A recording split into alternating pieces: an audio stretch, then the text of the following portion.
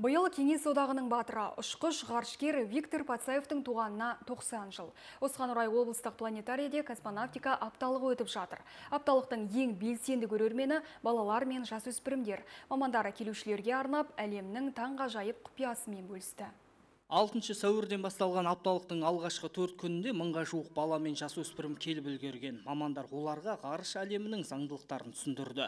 Әрі өңірден ғарышқа ұшқан ғарышкерлер туралы танымдық сабақтар өткізіп келеді. Планетарий ұжымы апталықты жыл сайын өткізуді дәстүрге айналдырған. Жыл сайын дәстүрлі түрде өткізеді. Әрине апталық алтысы күні салтанатты түрде ашылды. Он екісі күні сәуір күні патсаев ескерткіші маңында он бірде сағат жабылуы болады. Жұлдыздар бөлмесі мына жұлдыз бөлмесі.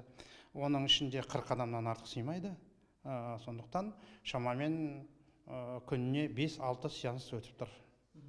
Ол және жексенбі жексенбі күндері де демалыссыз өтіп жатыр. Ғарыш саласы бойынша әрине дәрістер өткіземіз. Сонымен қатар балаларды қызықтыру үшін сурет салу ғарыш тақырыбында мастер класстары өткізіледі.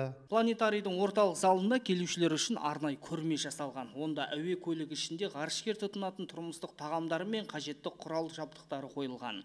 Және өңірлік ғарыш саласы саңлақтарының космостан түсірілген естелік фото суреттерін көре аламыз. Бұл көрмеде ғарышкерлердің киімдері туралы айтылған. Ғарышкерлердің негізгі киімі бұл бізде скафандр деп аталады.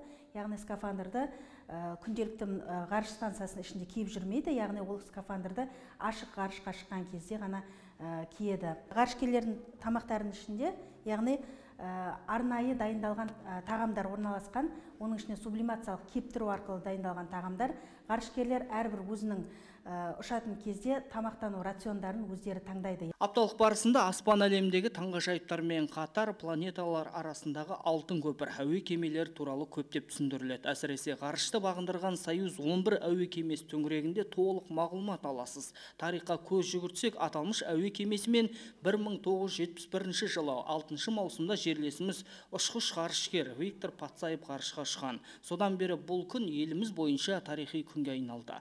Ал ғарыш кемесінің макеті мен тұлға жайындағы тарихи деректер құнды жәдігер ретінде облыстық тарихи өлкетану музейінде сақталған. Патсаев енді жерлесіміз әрине біз міндетті түрде оны құрметтеуіміз керек. Сол кездегі кезеңмен алғанда ең бірінші астроном яғни жердің атмосферасынан тыс яғни әуеде телескоппен жұлдызды әлемді бақылаған ғаламның біреуі.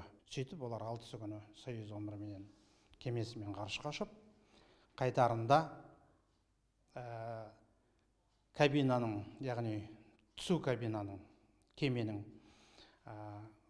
есігінің клапанында ақау болып содан ауа шығып кету кесірінен үш бірдей ғарышкер үшеуі де қаза табады. Сондай ақ апталықты өткізудегі мақсат ғарыш тарихын дамуын насихаттау өскелең ұрпаққа туған өлкесінің батыр ғарышкерлері туралы айтып білімін жетілдіру. Жастар арасында патриоттық тәрбие. Апталықта кішкентай бүлдіршіндерге аспан әлемі туралы мультфильмдер көрсетілді. Балаларға кішкене ғарыш туралы ғарыш әлемі туралы қазақстандағы тұңғыш ғарышкерлер туралы мәлімет бергіміз келіп балаларды алып келдік. Ғарыш әлемі түнгі жұлдыздар ғаламшарлар күннің батуы күннің шығуы туралы мәліметтер берілді балдарға. Өте керек мағлұмат алды. Балаларға өте қызықты болды.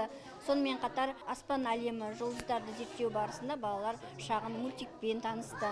Айта өтейік 12 сәуір бүкіл әлемдік авиация және ғарыш күні. Осыған орай аталмыш апталықтың жабылу салтанаты өтеді. Онда апта бойы белсенділік танытқан кішкентай көрермендерге арнайы сыйлықтар табысталады.